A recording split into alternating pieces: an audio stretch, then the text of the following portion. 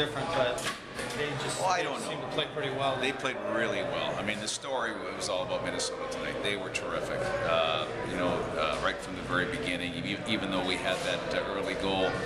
Um, you know, I, I'm just glad that uh, Hockey Day in Minnesota is only once a year. Uh, they were they were really good, and I, I think you could also see some uh, certainly some desperation in their game. Uh, you know, they, they wanted it in the worst way for a number of reasons, and and um, you know we. Uh, we just didn't have that same level of, of uh, urgency.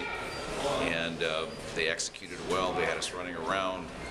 Um, they were very good, very good in all on all areas of their game. I mean, and, and it, for a team that needs a game as badly as they did, you couldn't have scripted it any better. You know, three in the first, and we start the second period. They score in the first minute, and, and then they score in the power play. I mean, it was. Uh, you couldn't have scripted it better for them.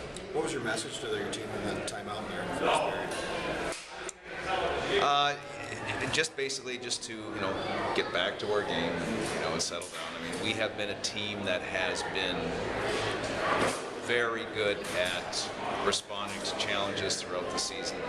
Um, uh, a, team that has been able to more times than not come back and, and uh, get back into games and, and win some of those games. So uh, it was. Uh, we've adjusted a couple of things systematically, but more about okay, let's just uh, you know from here on in, let's just have this next shift be a good one and go from there.